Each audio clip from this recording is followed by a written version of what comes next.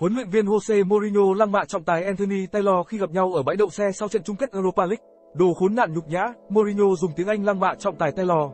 Sau đó, ông dùng tiếng Italy để chửi, đồ chết tiệt. Trước khi lên xe của Roma, Mourinho lập lại, xin chúc mừng, đồ khốn nạn nhục nhã. Trước đó, Mourinho và các cầu thủ Roma cho rằng Taylor thiên vị Sevilla. Họ cáo buộc trọng tài người Anh không phạt thẻ vàng thứ hai đối với Eric Lamela sau pha va chạm cuối trận. Sau đó, Lamela thực hiện một trong bốn quả luân lưu cho Sevilla. Thầy trò Mourinho cũng khó chịu về việc trọng tài không thổi penalty sau tình huống Fernando chạm tay vào bóng trong vòng cấm. Đây không phải là lần đầu tiên Mourinho tìm đến trọng tài sau trận đấu. Năm 2012, sau trận thua Barca ở Cup Nhà Vua, ông phải nhận cáo buộc tương tự, Sevilla nâng Europa League 2023. Trong trận chung kết Europa League tại Hungary tối ngày 31 tháng 5, Roma khởi đầu tốt hơn. Sau 35 phút, Paolo Di Mala sút chéo góc mở tỷ số cho đội bóng Italy.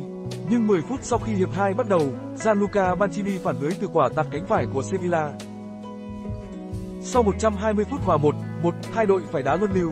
Ocampos, Lamela, Rakitic và Montiel sút vào cả bốn quả đầu của Sevilla. Trong khi đó, Cristanti sút vào quả đầu của Roma, nhưng Mancini và Ibanez đá hỏng, giúp Sevilla thắng 4-1. Cổ động viên Sevilla tràn xuống sân mừng chiến thắng. Qua 7 lần vào chung kết UEFA Cup Europa League, Sevilla duy trì thành tích toàn thắng. Trong khi đó, Mourinho lần đầu thất bại trong một trận chung kết Cup châu Âu.